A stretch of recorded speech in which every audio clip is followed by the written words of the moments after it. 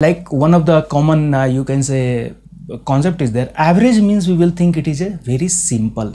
Like if we will ask how this student is performing then feedback may come he is the average.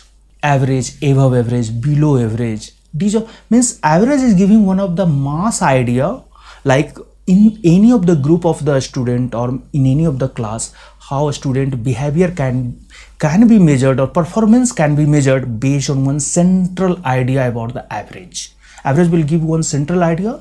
This side above the average below is below the average. Means you can say up and below. Then top side you can say above the average. They, they are very meritorious student. So called i don't know then again we have so many factors we have to analyze. And below the average line then we can say it is below the average or you can say it, they are not much meritorious. Either they are not putting effort or maybe their uh, capacity of brain or thinking pattern is not correct. Whatever will be there. Then one of the ideas concept concept of average is that will give you the central idea what is the what is the uh, perfect behavior of any of the group of a student or group of data or bunch of data then that is very clear how to measure the average. Goal is to measure one central central point or central line. Based on that we will able to evaluate full data in terms of average either this side or this side. Okay? Then uh, you can say average is uh, most powerful and helpful tool after percentage and ratio.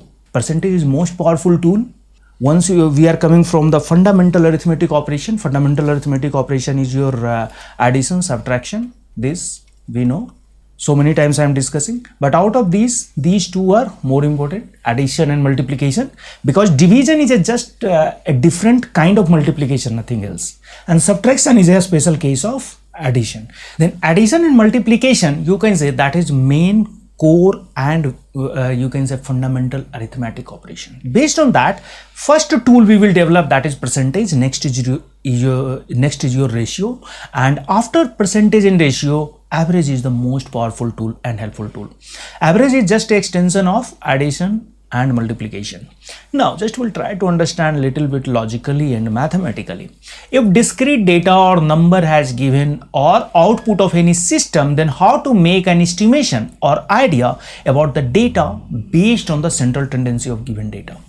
Generally we are measuring average or mean about the central tendency of the data means what is the central behavior of the data again so many variables are there in uh, statistics or data analysis.